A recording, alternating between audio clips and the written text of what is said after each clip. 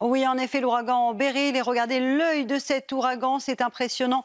Vraiment, cet ouragan, par rapport à la taille des îles, eh bien, il dévaste évidemment les Caraïbes, mais également euh, l'île de la Martinique, où l'on a eu également une forte houle. Et regardez l'œil du cyclone, la taille de l'œil du cyclone par rapport aux îles qu'il traverse, eh bien, c'est tout simplement impressionnant, avec donc des images du côté de Grenade, l'une des principales îles de Grenade, qui a été fortement euh, touchée euh, par cet ouragan de catégorie 4. C'est assez rare d'avoir un ouragan aussi fort à cette période de l'année. Généralement, c'est un petit peu plus tard, notamment euh, au mois d'août ou encore au mois de septembre. Et eh bien là, cette saison euh, d'ouragan est particulièrement précoce. Pourquoi? Tout simplement parce que nous avons eu El Niño et El Niño a tendance à réchauffer les océans et donc conséquence, eh bien, les ouragans seront de plus en plus violents euh, cette année et de plus en plus précoces. Avec, regardez, ce bateau qui a tout simplement coulé du côté de la Barbade et cet ouragan de catégorie 4 qui se dirige actuellement en direction du Venezuela, de la Colombie ou encore euh, du Mexique, où l'on pourrait avoir de nombreux dégâts puisque les vents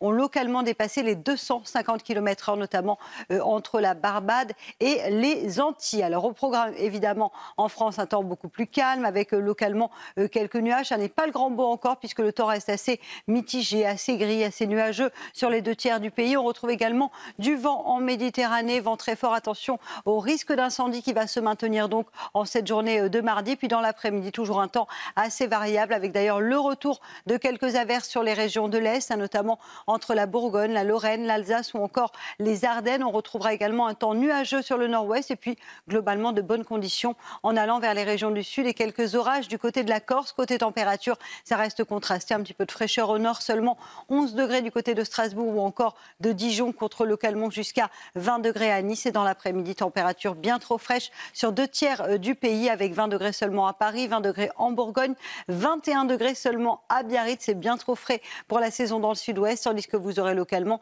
28 degrés à Marseille et 29 degrés du côté de Montpellier.